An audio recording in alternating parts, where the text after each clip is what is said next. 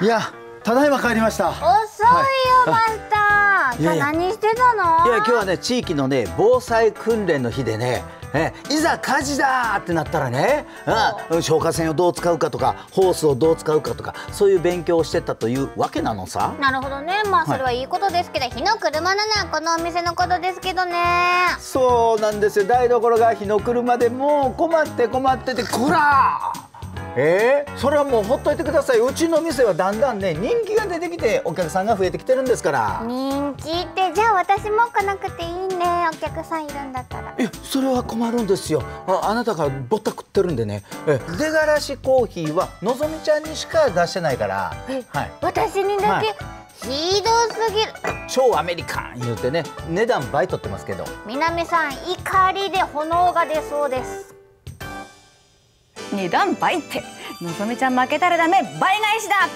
一つ大切なこと言ってましたよ、地域防災訓練って非常に大切ですよね。そう。これはもうマスターの言った通りですよね、はい。本当にですねあの地震にしても大雨にしても、はい。それから火災にしても災害っていうのはいつどこで起こってもおかしくないんですよ。です。からやっぱり地域住民の皆さんももちろん私たちもですけども、はい。日頃から備えておくことって大事ですよね。そうですよね。災害が起こった場合はまず自助自分そして家族で助け合う、はい。そして共助。地域で助け合うっていうことが被害の軽減につながりますからね。はい、それから控除っていうのもあるんですけども、はい。これ災害レベルが上がっていきますと、うん。あのいかにですね行政が行う控除といっても一人一人にですね行き届きにくくなってきます。はいなのでやっぱり地域防災の考え方すごく重要だと思いますそう。なんです能登半島地震を経験して防災士という立場から言わせていただくと、はいまあ、水も来ない道路も使えないとなると隣近所しか頼る人いないんですよ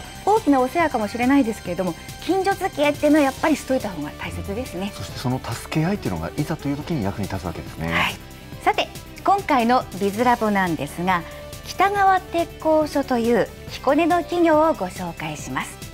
この会社は全国唯一の消火栓給水栓の専門メーカーで全国各地で災害被害の軽減に貢献しているんです。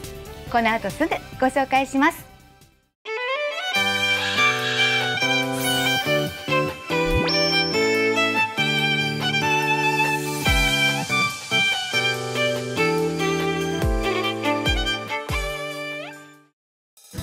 株式会社北川鉄工所は1961年に北川製作所として彦根市で創業。1965年から現在の主力商品である地上式消火栓の製造販売に着手。生産の増大と品種の多様化が進む中1969年に現在の北川鉄工所に社名を変更。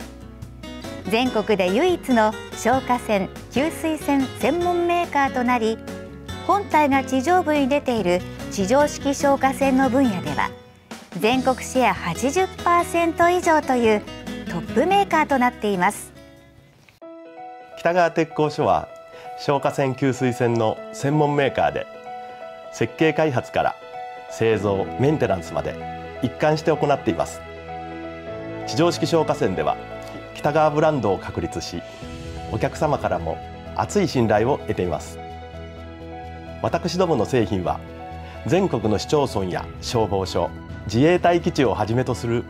観光庁を中心に発電所コンビナート米軍基地などさまざまな場所で使用されています。また世界遺産の日光東照宮や滋賀県ですと国宝の彦根城などさまざまな文化財や海外などでも使用されています。近年はエンドユーザーである観光庁からご要望をいただく製品開発が増えています。例えば仙台市とは東日本大震災をきっかけに給水タンク車用給水栓などを開発し青森市とは臨時の給水所で使用する応急給水栓を開発しました。横浜市とは耐久性の高いスタンドパイプを開発し共同特許を取得しました。また神戸市からご要望をいただき地元の住民の方から募集したイラスト入りの給水栓を製作するなど新製品を数々手掛けています。60年以上にわたって積み重ねたノウハウを生かしてこれからも高品質堪能期責任ある迅速なアフターフォローをモットーに信頼される製品を提供し消火活動や自然災害の救援活動を支える企業でありたいと思っています。消火栓給水栓の専門メーカーである北川鉄工所ではその分野のエキスパートとして多種多様な製品を製造しています。えー消火栓や給水栓は用途によって製品の機能や形状がそれぞれに異なりますのでえー数としては約80種類程度ございます。でこちらが弊社の主力製品の一つである地上式消火栓です。消火栓の本体が地上に出ておりまして有事の際に発見しやすくスムーズに消火活動ができますので近年関心が高まっております。使用後内部に残った水の凍結を防止する排水装置がついております。ほかこのように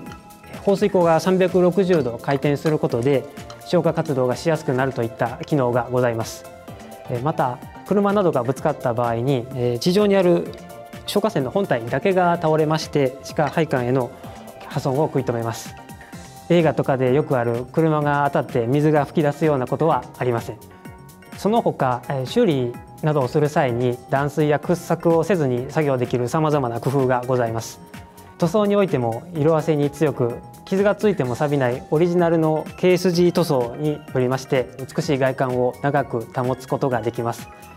弊社はこの塗装に10年間の保証をつけております。製品の長寿命化や廃棄物の削減につながりまして SDGs に貢献できる製品だと思います。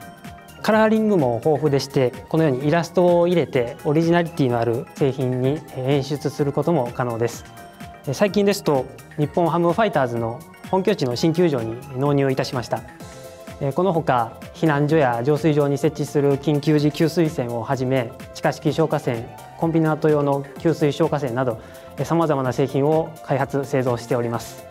弊社の製品は基本的に災害時に使用されます。消火栓は消火活動に使われますし緊急時給水栓は自然災害の際の救援活動に不可欠です。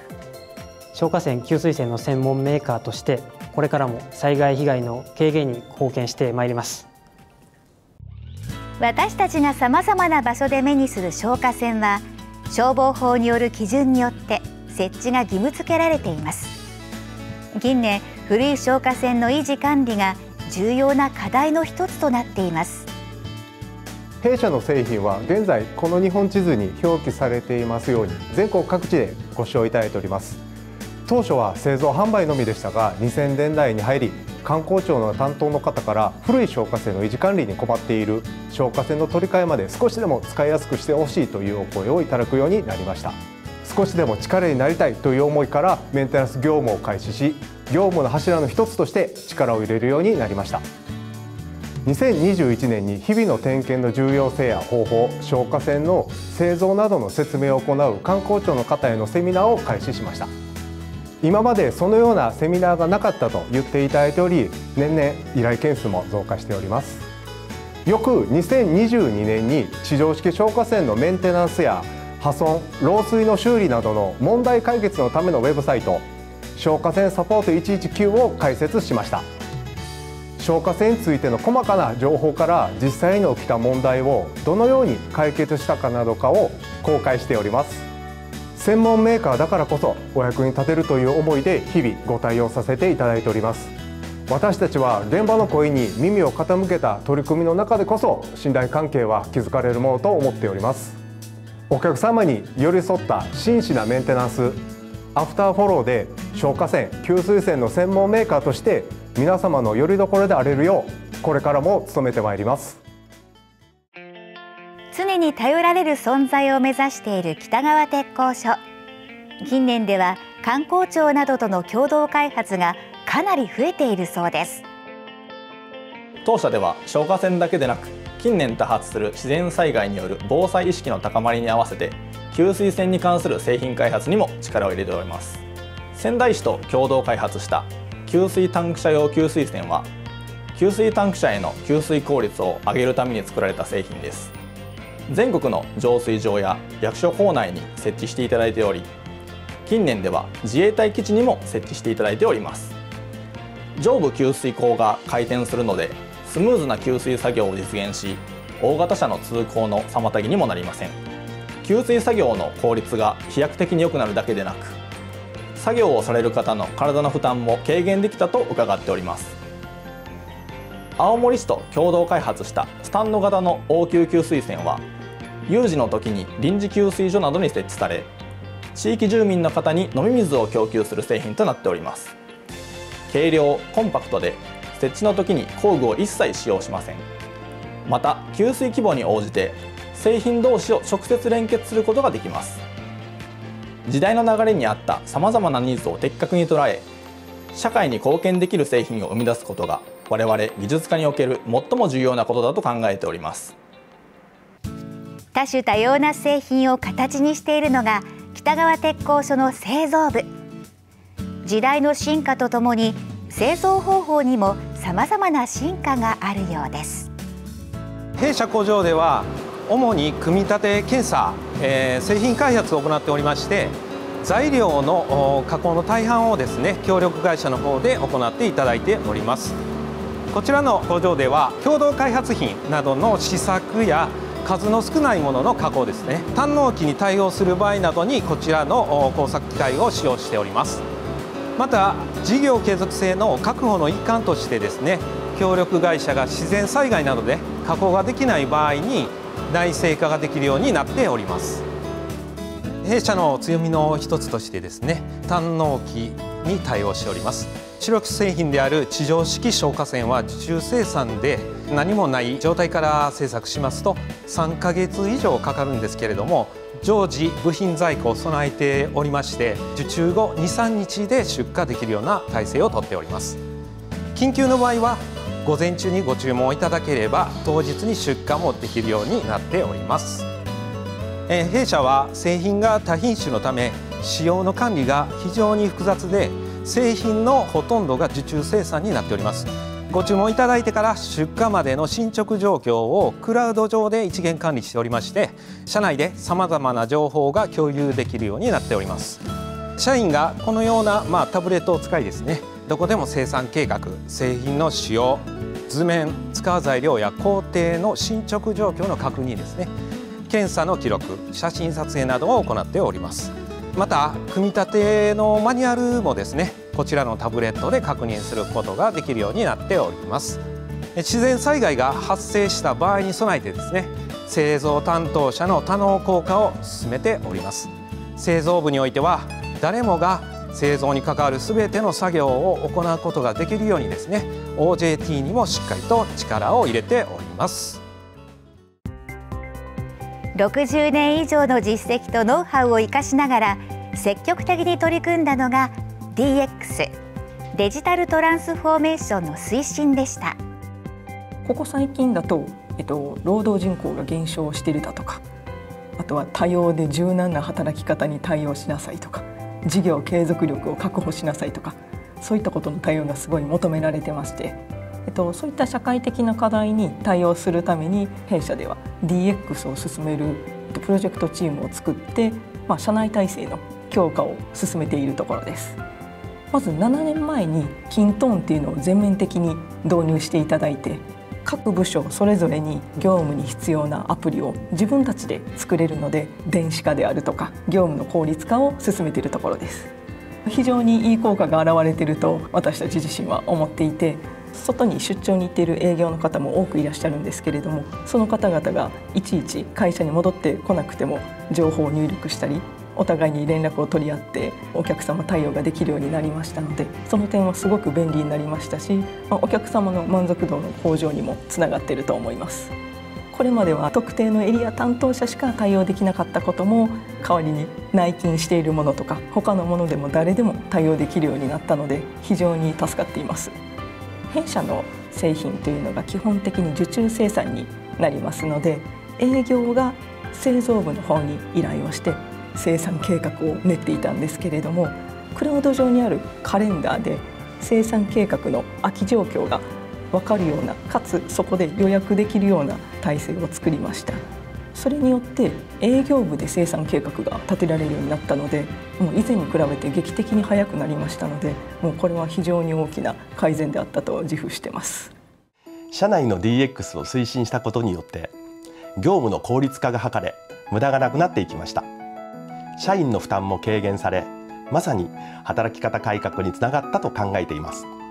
DX は様々な企業が取り組むべきと思います。現在新工場の建設を進めていて2025年には完成予定です。社員が良い環境で働くことができ製造現場も飛躍的な効率アップにつながると考えています。そして日本全国でまた世界のさまざまな場所で北川ブランドの製品が使用され多くの方の安心な生活に貢献する企業になっていきたいと考えています。いや消火栓給水栓の専門メーカーで北川ブランドとして知られる企業が彦根にあったんですね。びっくりしました、はい、いや私も知らなかったんですよ、ええ、であれだけね社会貢献性の高い企業が、まあ、滋賀県内そして彦根にあったってことなんですよね、はい、北川鉄工所さんのですね製品というのは、うん、あの災害に備えたものじゃないですか、はい、ですから災害が起こらなければ使わなくて、まあ、済む。まあ、それが一番いいんですよ。はい、ただしやっぱりどこかで有事っていうのは起こりますから、はい、北川鉄工所さんの製品っていうのがやっぱりちゃんとですね機能していただかないと困る。なくてはならない企業なんですよね、はい、消火栓サポートであったりセミナーの開催そして行政とともに新しい製品開発を行うなど新たなサービスも始まって今後の北川鉄工所の発展がますます期待ですね。社内での取り組みでいうとですね、うん、DX ってことがまたね、ね、出てきましたが、はい、働き方改革ですとか、うん、業務効率のアップにやっぱりつながってるんですよね、えー、で特に中小企業にこそですねやっぱり DX って取り組んだ方がいい取り組みだし、あの VTR をやっぱり見たらですね、あやっぱりうちもやりたいなと思われる企業あると思うんですよ。中小ほど劇的に変わりますもんね。そうなんですよね。まずできることから始めるっていうのが大切ですよね。大きな予算をかけてこう大規模に改革っていうんじゃなくてできることからやっていく。それもなるべく早く取り組むことが大切です、ね、そうなんです。その早くっていうのはすごく大事でして、はい、あの実はですねこれ2025年までに DX の取り組みをしていないとこれ日本全国のことなんですが、はい、経済的損失が出てしまう。それが甚大なんですよね、はい、そういったの危機感がありますから、うん、ちょっとでもあの考えられた方経営者の皆さんはですね、はい、あのすぐ動かなくてもいいんでまず調べるところからやっていただきたいですね。そうですね。2025年に崖から落ちないように、早く取り組むことをお勧めします。以上ビズラボでした。続いてビズログです経済に関するタイムリーなトピックスを解説コメンテーターの荻窪さんに分かりやすく教えてもらいます。さて今回は？はい。もう間もなく日本では新年度が始まるじゃないですか、はい、すると新入社員の方がたくさんいらっしゃるっていう時期なんですよね、ええ、今ですね今年入社される方っていうのは Z 世代が主流になっていると思います、はい、ただ今回のビズロゴではですねその Z 世代よりも時代を少し先取りしますアルファ世代への対応ということでご紹介していきます。Z 世代の次はアルファ世代なんですか？はい、まずですね、このアルファ世代の前に、はい、あの Z 世代のこう整理をしてみたいんですよね。うん、どう違うんだ？はい、Z 世代っていうのは、うん、1990年代の半ば頃から2010年代の初めの頃にお生まれになった方々なんですね。年齢でいくと2024年現在で、だい。たい13歳前後から29歳前後ぐらいまでの幅の方々を Z 世代とまあ呼んでいる、はい、そして Z の次がこれアルファになるんですよ、うん、なので Z の次の世代ってことなので、はい、アルファ世代っていうのは、まあ、いわゆる2010年頃から今ですねまさにこの瞬間お生まれになってくる方々のことを指すんですね。そしてなんでこのアルファ世代への対応が必要かというと、はい、マーケティングの世界では今 Z 世代を対象にしたマーケティングっていうのが主流なんです。うん、ただニュージェネレーションをいかに取り込もうかってことを考えてる企業はすでにあるんですよ。もうアルファ世代について考えないといけないの？そうなんですよ、ね。はい。でこのアルファ世代の特徴っていうのがありましてですね、はい、アルファ世代がまあ生まれた2010年以降っていうのは、当然スマートフォンですとかタブレットのようなデジタルデバイスっていうのがもう一般家庭に普及し尽くしてる時ですよね。当たり前にある。そう当たり前。生まれた瞬間にも当たり前にはあると。でよくこれと比較してですね、はい。Z 世代もデジタルネイティブですねっていう言われ方をするんですね。そうですね。はい、ただ Z 世代の場合は